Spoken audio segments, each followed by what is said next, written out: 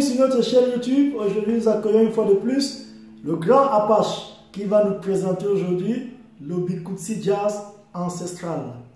C'est parti. Alors, bonsoir Apache et bienvenue. Bonsoir.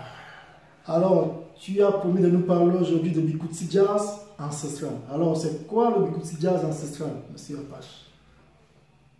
Jazz ancestral, c'est ce qu'on donnait le mbet, la guitare traditionnelle en bambou, branche de raffia. C'est ce que ça nous donnait avant, lorsque j'étais enfant. Eh bien, le jazz ancestral, c'est euh, ce que nous donnaient nos ancêtres de ces années-là, les années de mon enfance et avant.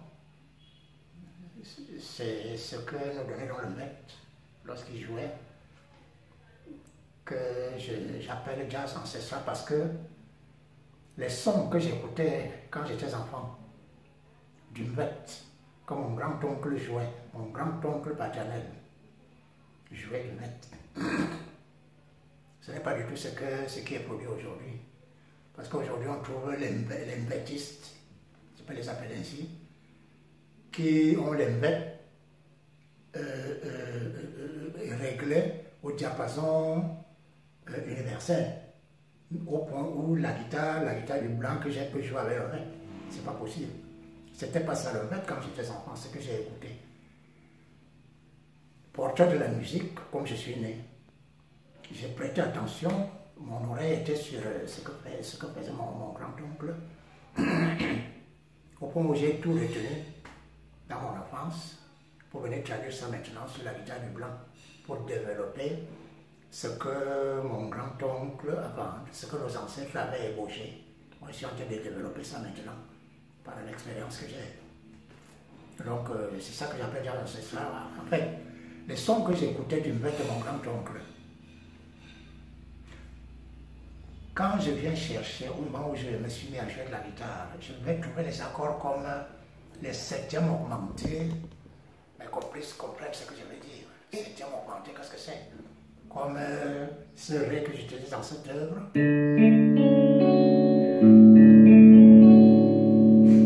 C'est la gamme du septième augmenté. C'est plus. Et puis, euh, cet accord de septième diminué. Pour refaire l'œuvre l'œuvre que j'avais retenue, la seule œuvre que j'avais retenue dans mon grand-oncle. C'est ça que j'ai refait comme ça, de cette manière, pour multiplier maintenant moi-même, avec les expériences que j'ai.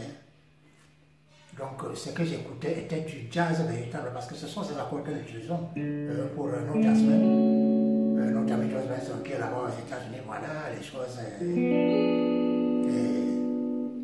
bon, c'est un peu de ça, c'est ça que j'appelle jazz ancestral. Et maintenant, quand j'essaie de développer ça, il y a des richesses et des richesses. Voilà, voilà ce que j'ai trouvé comme rythmique. Là,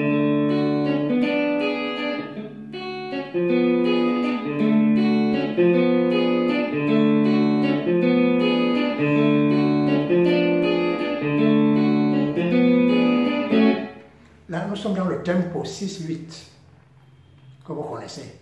Quand je dis 6-8, mes complices comprennent.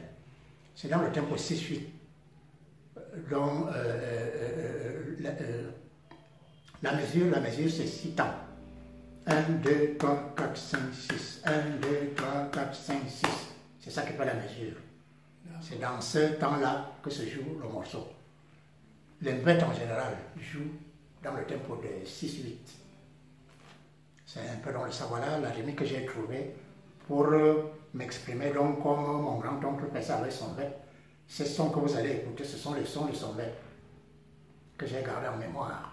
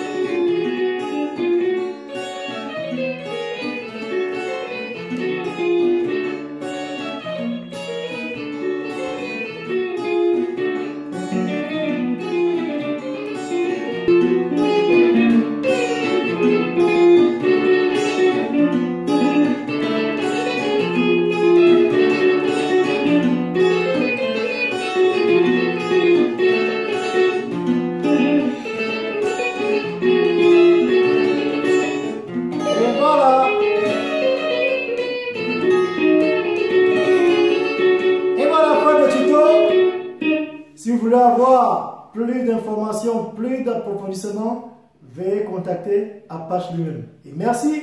Ciao